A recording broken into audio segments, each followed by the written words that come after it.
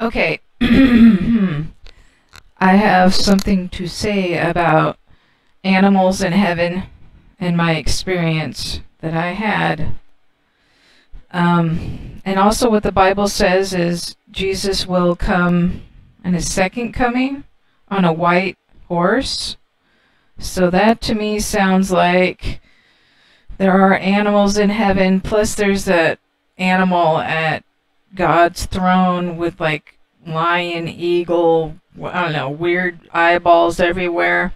So that sounds like animals in heaven, even though that could be some special creature. But, and plus, I've heard people have near death experiences who say there were animals in heaven. And these are people who I trust because they come back as born again Christians, usually if they go to hell. But um, I don't trust near death experiences where they talk about things that aren't in alignment with God. Um, some of it sounds sketchy, a lot of it. So you have to be very careful with near death experiences. So, anyways, I was at a zoo, the Portland Zoo in Oregon, and with my family. Um, gosh, this was probably about six years ago or something. And um, I was alone uh, the rest of my family, I don't know if they were behind me or ahead of me because they have a little girl. So they were taking their time. And I was, I think I went up ahead to the uh, cougar, the mountain lion exhibit. And there was about 10 people um, right there at the window of the cave where one of the lions was sleeping and the other one was circling the, the uh, cagement or whatever it's called.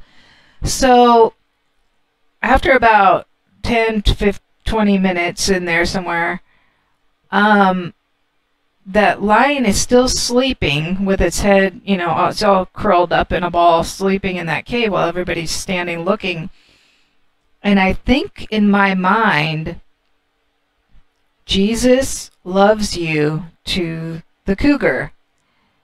The cougar stands up from its sleep, turns, looks out the window, and looks directly at me with all these other people standing around. So I was like, oh, that was weird.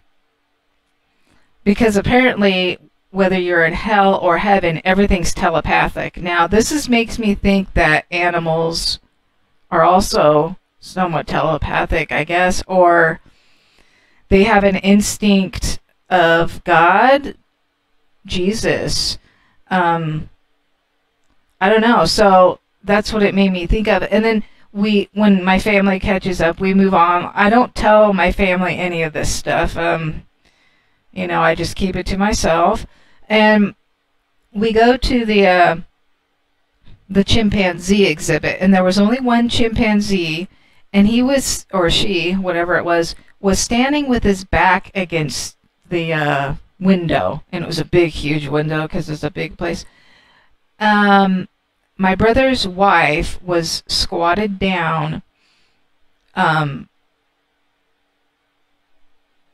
uh, as high as the chimpanzee with the chimpanzee's back towards her.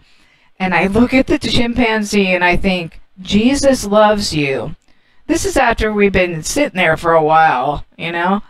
And that chimpanzee turns around and looks directly at um, the person standing there, the, uh, my brother's wife. And I was like, whoa. it did it again. The animal heard me, I think, because it turned around and looked. It's very peculiar and odd. But that's what happened. You don't have to believe me, but it happened. And I just, you know, people wonder if there are animals in heaven, and I think they have a spirit. I think they're very intelligent. Why would God make animals if not for even his own enjoyment and for our enjoyment, you know? um, you know, they did they weren't the ones who sinned. We were, you know. Um, if there are worms in hell or certain things that God has to put in there, then that's okay. That's uh, His doing. If if the worms can handle the heat and the maggots while it's eating your flesh over and over, then that's okay too. Oh. So, anyways, um, the thing about near death experiences, there was a guy, Bryan Melvin. He went to hell. He said that there were people there who were having heavenly experiences because Satan and demons, they're false and they're going to give you a counterfeit of heaven even if you're in hell. Um, possibly because these people are going to be able to come back and tell a story. So, I don't know.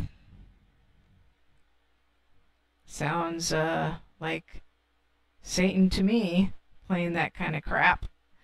Okay, bye.